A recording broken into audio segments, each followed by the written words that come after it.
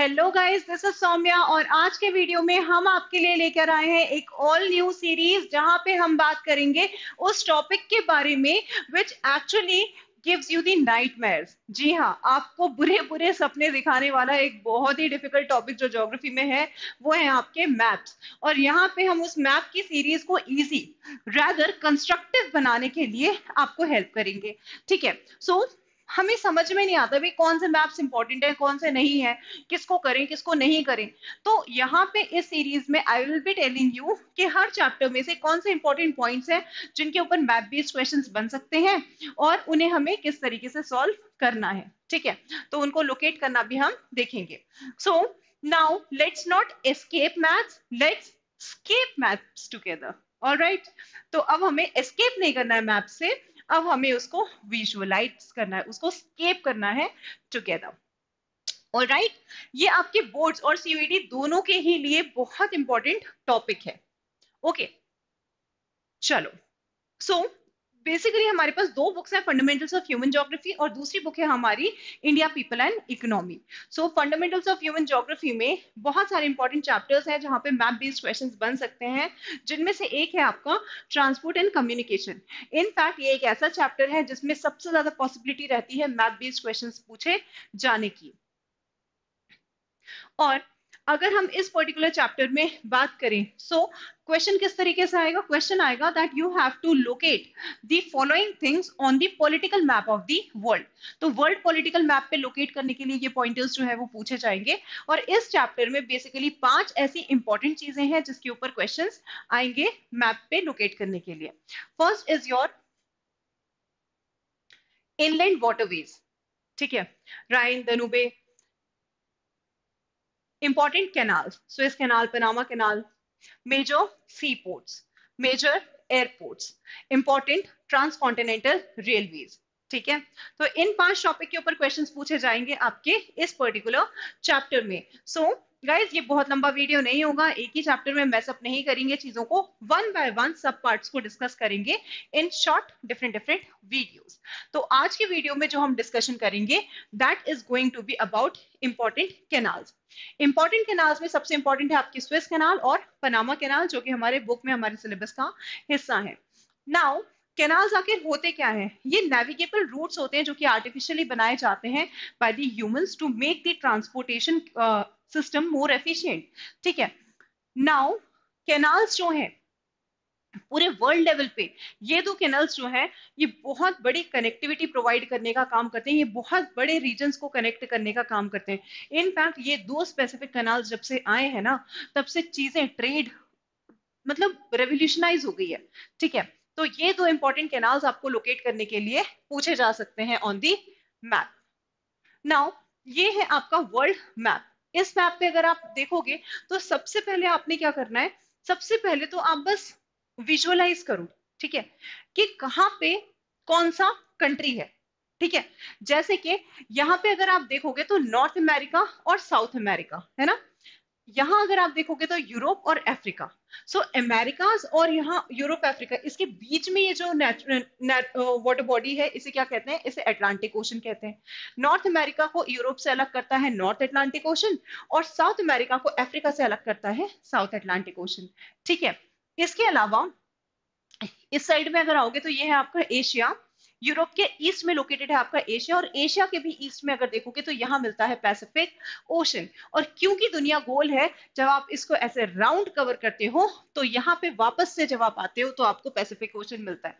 मतलब North America के east में लोकेटेड है अटलांटिक ओशन और वेस्ट में लोकेटेड है पैसिफिक ओशन क्लियर तो इस तरीके से मैप को विजुअलाइज करो, जिससे अटलांटिक ओशन पैसिफिक ओशन और जो कॉन्टिनेंट्स है, वो आपके माइंड में जो है, वो क्लियर हो जाए। And visualisation is the best technique to remember the maps ठीक है, जितना ज़्यादा गौर से देखोगे, उतना ज़्यादा याद अपने आप रह जाएगा।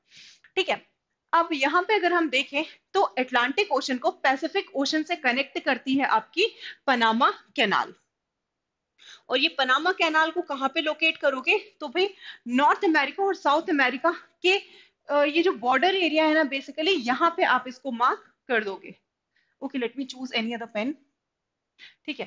तो ये वाला जो एरिया है, आप यहाँ पे मार्क करोगे आपकी पनामा कैनाल ओके इजी है ना?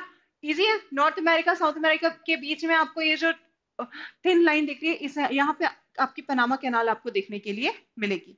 ओके नाउ पूछा जाए कि पनामा कैनाल मेनली किसको कनेक्ट uh, करती है? तो ये अटलांटिक ओशन को कनेक्टिविटी प्रोवाइड करती है पैसिफिक ओशन से। अब आपको इतना घूम के नहीं आना पड़ेगा।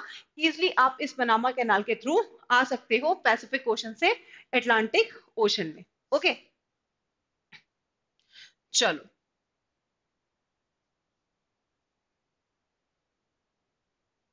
हम बात कर लेते हैं नेक्स्ट इंपॉर्टेंट कैनाल जिसकी हम बात करें स्विस कैनाल तो ये तो हो गई आपकी पनामा कैनाल है ना?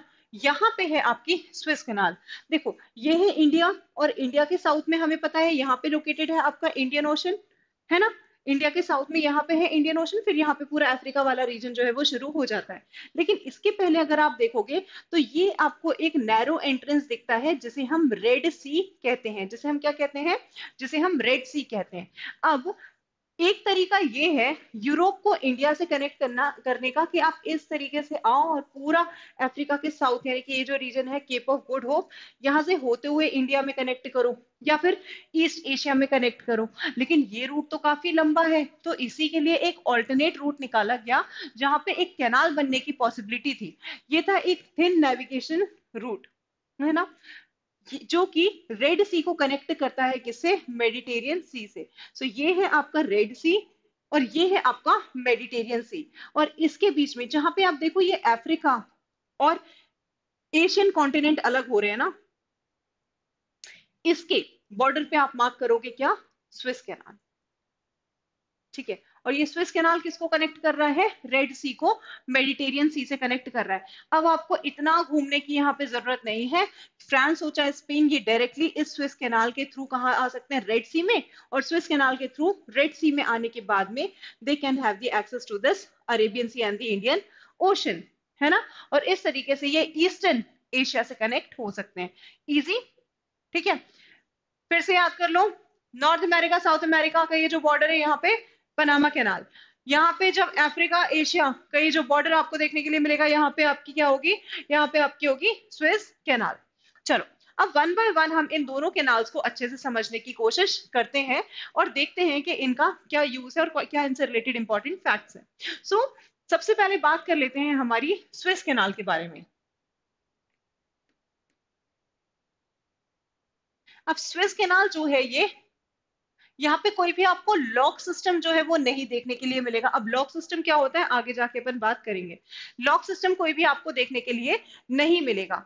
ये बेसिकली अगर आप देखो तो ब्रिटिशर्स के द्वारा कंस्ट्रक्ट की गई थी।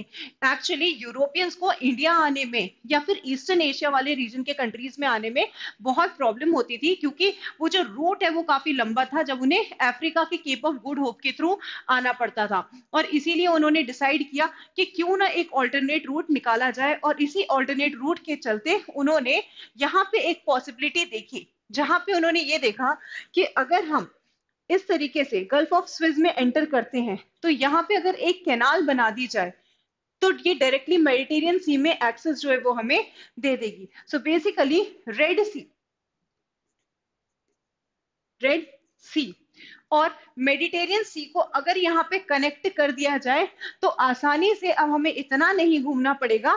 हम इंडियन ओशन से यहाँ पे रेड सी और रेड सी से फिर इस कैनाल के थ्रू मेडिटेरियन रीजन में कनेक्ट हो जाएँगे और मेडिटेरियन से तो पूरा यूरोप लगा हुआ है। और इसीलिए 1869 में ये कंस्ट्रक्ट कंस्ट्रक्शन जो है वो करवाया गया था of the Suez canal and it revolutionise everything because it shorted the route between the Europe and the Asia so much okay चलो. अब यहाँ पे ये जो कैनाल है, ये डीप में अगर आप देख रहे हो तो बेसिकली यहाँ पे आपको जो दिख रहा है, वो है इजिप्ट ये है अफ्रीका का हिस्सा. ठीक है? अब इजिप्ट में ही बीचों बीच से ये कैनाल जो है, वो निकलती है. और ये जो कैनाल है, ये किसको कनेक्ट कर रही है? ये पोर्ट स्विस को कनेक्ट कर रही है. वेरी इंपॉर्टेंट यहाँ पे आप देखो, यहाँ पे साउथ में जहाँ पे ये रेड सी का नॉर्दर्न एंड जहाँ पे ये कैनाल शुरू होती है, वो है आपका स्विस ठीक है पोर्ट स्विस और पोर्ट स्विस से ये कैनाल जो है, ये जाती है कहाँ पे? पोर्ट सेड और पोर्ट सेड कहाँ पे लोकेटेड है? ये इजिप्ट में ही एक जगह है, जो कि मेडिटेरियन के बॉर्डर पे आती है मेडिटेरियन सी के बॉर्डर पे आती है. इसको अगर मैं आपको लोकेट करवाऊं,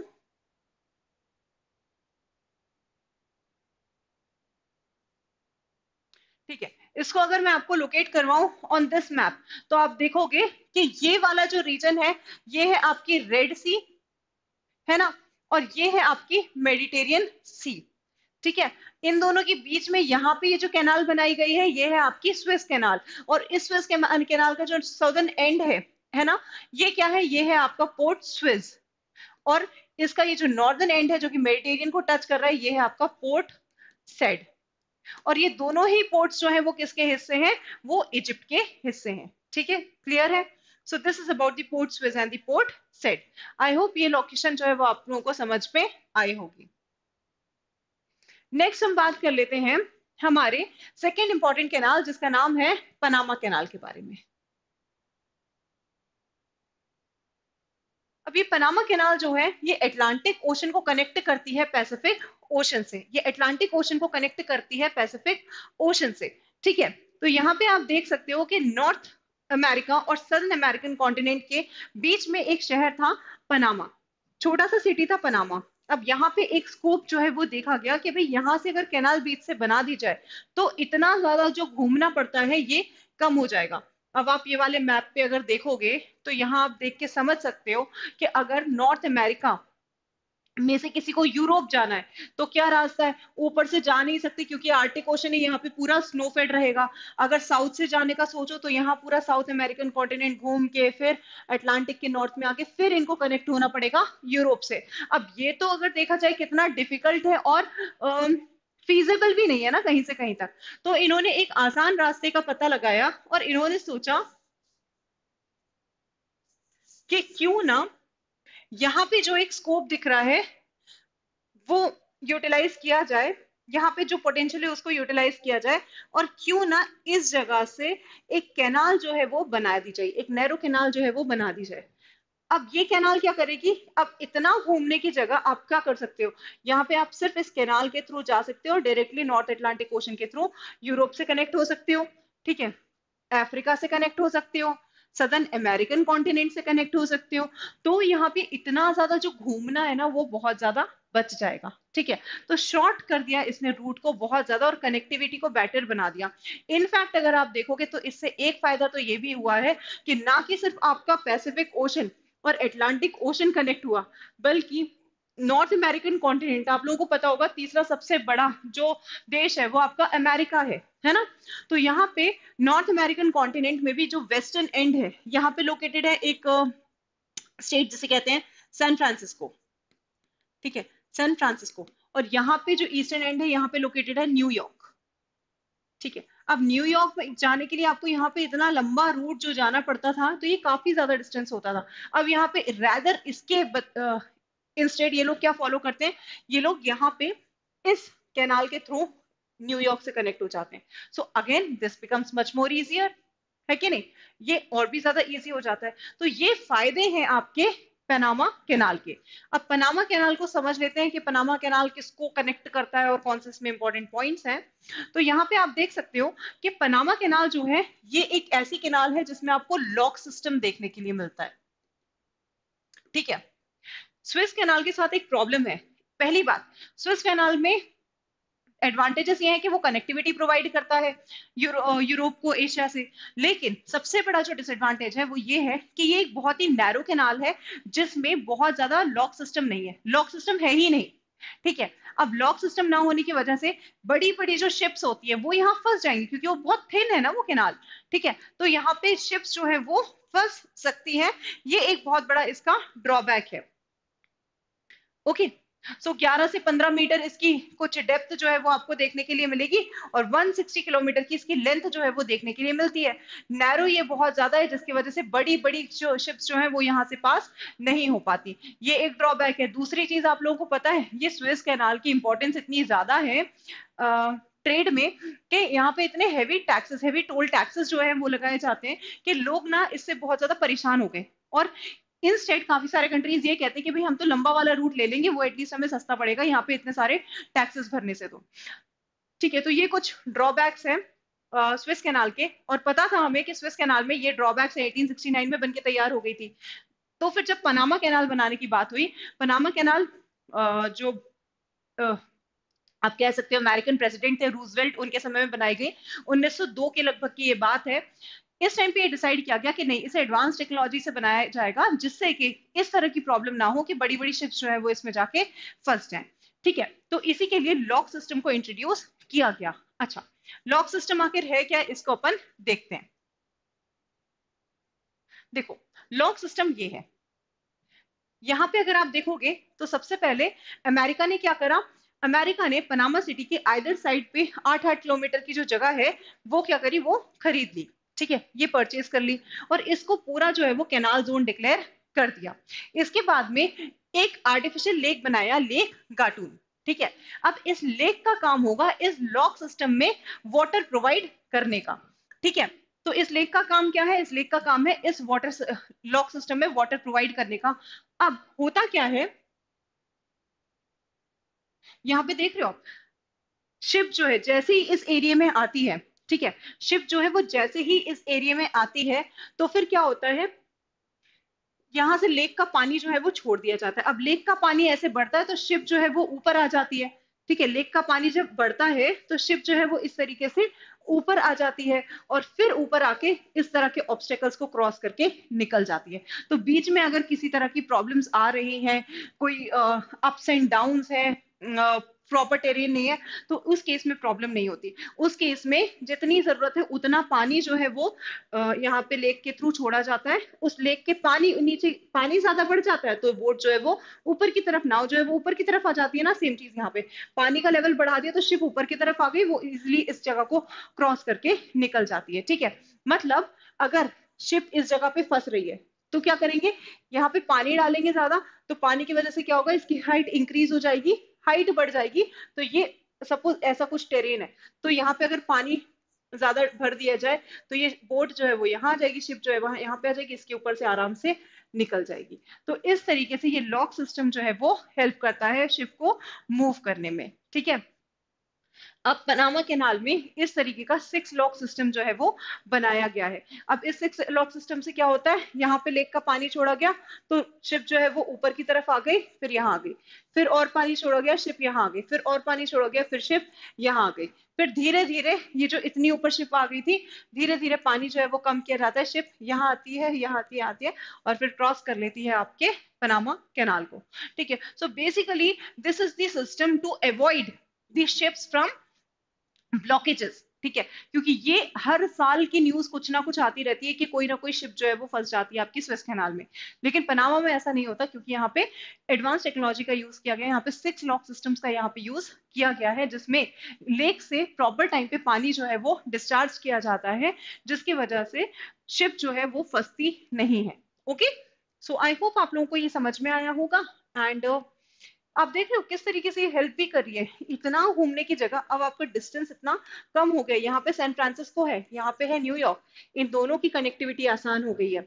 अगर हम यहाँ पे बात करें पैसिफिक और एटलांटिक को, यहाँ पे इसके थ्रू डायरेक्टली कनेक्टिविटी मिलती है रेस्ट ऑफ़ दी यूरोप से। यानी कि जो ईस्टर्न वेस्टर्न पार्ट है अमेरिका का, वो इजीली पनामा कैनाल के थ्रू कनेक्ट हो सकता है with the western Europe and the rest of the world या rest of the countries located on the Atlantic coast South America से भी कनेक्टिविटी आसान हो गई है। यानी कि वेस्टर्न अमेरिका की ईस्टर्न साउथ अमेरिका से भी कनेक्टिविटी बहुत ज़्यादा आसान हो गई है through this Panama Canal I hope आप लोगों को ये चीज़ें जो है वो समझ में आई होंगी और ये शॉर्ट वीडियो जो है वो अच्छा लगा होगा, जहाँ पे हमने डिस्कस किया लोकेट किया ये दो इम्पोर्टेंट कैनाल्स को।